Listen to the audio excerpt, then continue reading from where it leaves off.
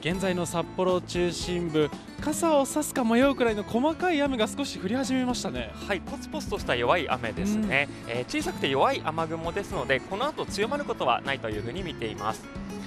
そして今日は寒かったですよね。今日は平地でも雪の積もったところがありました。こちらご覧ください今朝の稚内市内の様子です。もう一面銀世界ですね。はい北海道付近を通過した低気圧や上空の寒気の影響で昨夜から今朝にかけ東北やオホーツク海側を中心に平地でも雪の積もったところがありました。午後4時までの24時間に降り積もった雪の量は稚内市の沼川で3センチ中頓別佐呂間で1センチとなっています。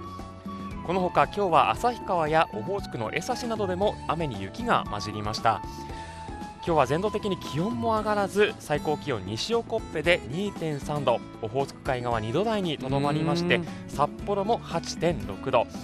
先月20日以来18日ぶりに10度に届かず寒い1日になりました。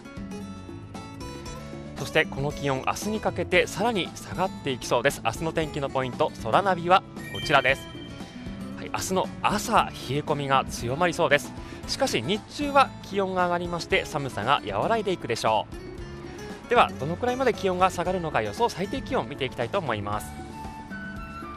最低気温0度以下の地点に黄色の囲みをつけました。寒気や放射冷却の影響で明日朝にかけて冷え込みが強まりそうです。名寄は氷点下3度。北見や中標津も氷点下1度まで冷え込みそうです。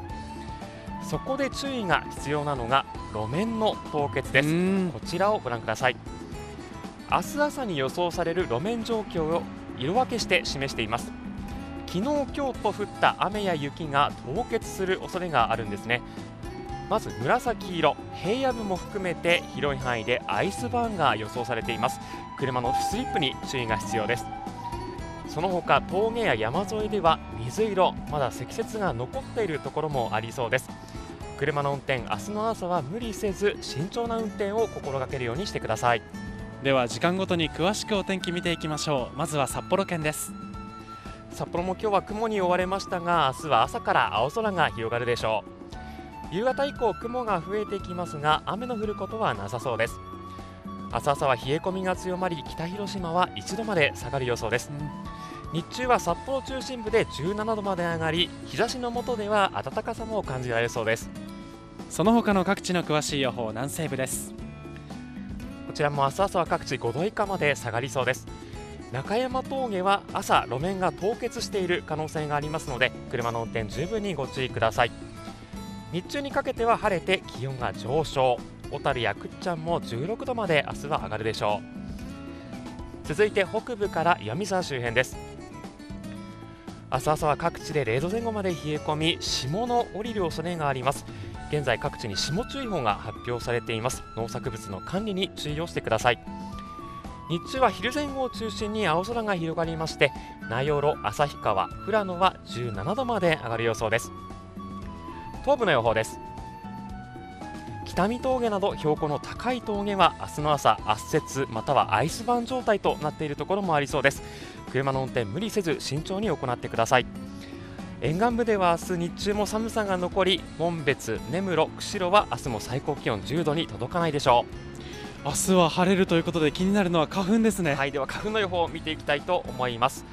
明日久しぶりに日差しがたっぷりとなるということもありまして、うん、札幌極めて多い予想旭川も多い予想です。その他の各地は少ないからやや多い予想になっています白樺花粉の飛散今週がピークということになりそうです、うん、症状出ている方あともう少しの辛抱となりそうです。ではこの先のお天気週間予報で見ていきましょう。南西部です。あさって以降土曜にかけては晴れの天気が続くでしょう。気温も金曜土曜と日ごとに高くなっていきそうです。土曜の札幌の最高気温24度。今日と比べると15度ぐらい高くなりそうですね次の日曜から月曜にかけては低気圧や前線の影響で各地再び雨となりそうです。沿岸部を中心に風も強まって少し荒れた天気となる恐れもあります。最新の情報に注意をしてください。続いて北部と東部です。こちらも土曜にかけてはおおむね晴れますが日曜には稚内や旭川で雨が降り出し月曜には道東方面に広がっていくでしょう。気温ですが雨の前は暖かい空気が流れ込みまして旭川は土曜日24度帯広は日曜日25度夏日の予想です。日曜以降は最低気温でも2桁の日がほとんどになってきそうです。この先も気温は平年より高めに経過する予想です。今日の夜そして明日の朝にかけて冷え込みがぐっと強まります。今日の夜はどうぞ暖かくしてお休みください